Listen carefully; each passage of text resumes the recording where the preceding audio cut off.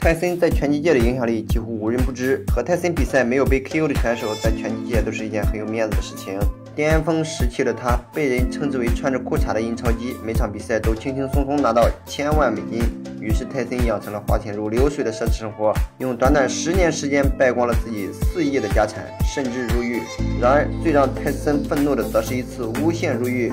那是泰森习惯性的赛后派对，当时邀请了很多模特和明星，其中一个叫德西雷·华盛顿的黑人选美小姐起诉泰森侵犯了她，导致他含冤入狱三年。暴脾气的他其实一直在压制心中的怒火。泰森出狱的场景是非常大气的，一个车队迎接泰森，监狱街道两侧站满拳迷，三架直升机现场直播。之后的泰森谨慎了许多。